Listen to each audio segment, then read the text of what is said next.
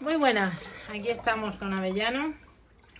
Ah, nos han avisado porque se estaba tumbando, estaba con la respiración agitada y como que no se encontraba muy bien. Eh, así que de momento le estamos haciendo un lavado de estómago para ver si esa respiración era porque estaba el estómago lleno o comprobar qué contenido tiene. Y ahora vamos a seguir explorándole. Eh, miraremos constante, le palpamos, revisamos un poco que todo esté bien y os vamos contando. De momento ahora hacemos un lavado de estómago. Voy metiendo agua, que está la sonda hasta el estómago, y vamos lavando a ver qué, qué contenido sale. Y así lo podemos hidratar también. Ahí va saliendo ya algo Sí, ¿no? Por lo menos Mm. algo de... de contenido.